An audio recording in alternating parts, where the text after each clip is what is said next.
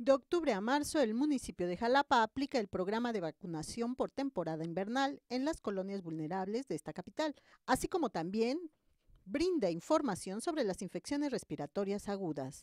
Aunado a esto, estuvimos aplicando vacuna triple valente, que es la vacuna contra la influenza estacional, en estas colonias a la población vulnerable, niños mayores de seis meses, menores de cinco años, eh, adultos mayores, mujeres embarazadas, hipertensos, diabéticos, inmunodeprimidos.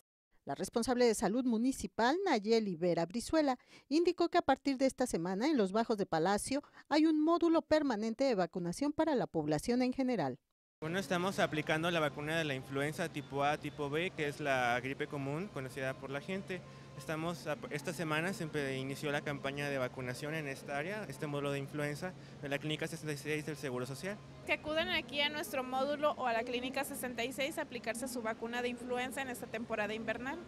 La vacuna es gratuita y el único requisito es que la última aplicación haya cumplido un año.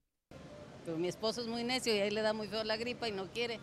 Pero yo sí, le digo, yo iba yo a ir a la cristal, pero vi que ya no estaban, entonces ahorita que aprovecho que voy demandado.